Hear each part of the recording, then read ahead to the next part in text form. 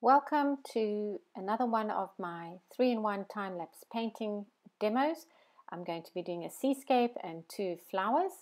So we'll start off with the flowers. This photograph I took at the local flower market and I just loved the, how the combining colors work together. So this is in my Moleskine sketchbook and I would have sprayed the page first. You can still see it shining with all the water, then mixed some ultramarine blue with some alizarin to make the nice purpley color, bit of quin rose. And then the sap green, which is one of my favorite greens. You can always add a little bit of indigo to make it darker or some yellow to make it lighter.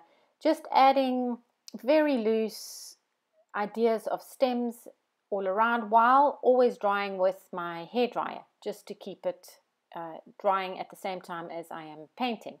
Then right at the end, I decided I wanted to add some pen and ink and a little bit of gouache to, I had somehow lost a little bit of my whites and I'd like to bring them back a bit. Next, we'll start on a honeysuckle from the garden. You can see it lying next to my, my page. This was done on Fabriano 300 gram paper and without any drawing, any prior drawing at all.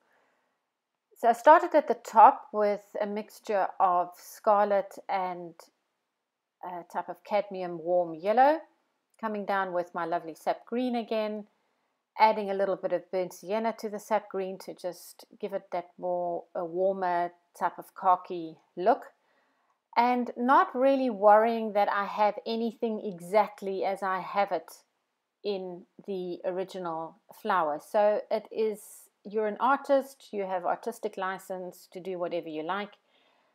But I tend to work quite quickly because otherwise the paint is drying. So I'm adding in the little darks to make the painting pop a little bit and to give it more a 3D type of effect. So don't don't forget to add your darks to your painting and just fixing up little things here and there, not forgetting the stamens with little bits of pollen on the edge just to give it that little bit of detail. Then with the, I'm mixing up a little bit of a, a purpley color just for the shadows. That would have been alizarin and a, a little bit of um, ultramarine blue. And I've added in the shadow just to prevent the, the honeysuckle from sort of floating off the page. So here is my finished product. You just need to sign the end and uh, enjoy it. Next is a little seascape. This is down the road from us. I live near the coast and wonderful to see the cormorants flying by. Here I soaked the page completely, then added a type of uh, phthalo blue, a bit of ultramarine at the top and yellow ochre at the bottom.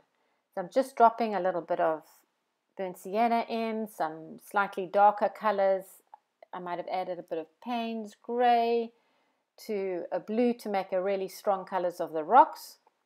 So never use exact black. As it dries, drying with a hairdryer at the same time, I've added in a little bit more detail with gouache and a little bit stronger colors to make the ripples in the water. And then lastly, I come in with my calligraphy pen just to add the, uh, the details to the rocks and this just gives a stronger feel to the small little watercolor. And in the final result, you'll see some cormorants flying by and a few more squiggles at the bottom by the foam just to give it that extra look.